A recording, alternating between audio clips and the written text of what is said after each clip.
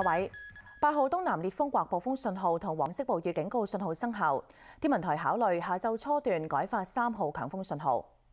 上晝十一點，強烈熱帶風暴帕卡集結喺香港以西大約一百五十公里，預料向西北或西北偏北移動，時速大約廿八公里，移入廣東內陸並逐漸減弱。隨住帕卡登陸同遠離本港，香港嘅風勢會逐步減弱。但香港仍然受拍卡相關嘅雨帶影響，西南部地區風勢仍然都幾大。當本港唔再受烈風或者暴風影響嗰陣，天文台會考慮喺下晝初段改發三號強風信號。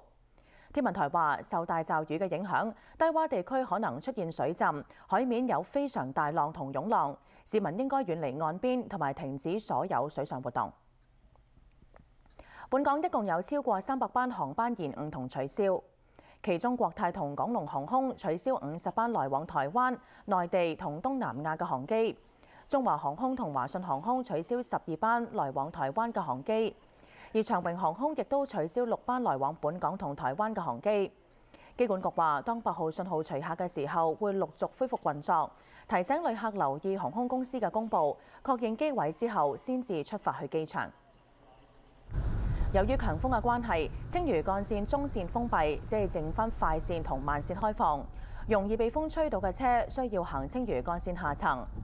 汀九橋亦都封閉中線，咁容易被風吹到嘅車同埋所有嚟自屯門公路嘅車就禁止使用汀九橋。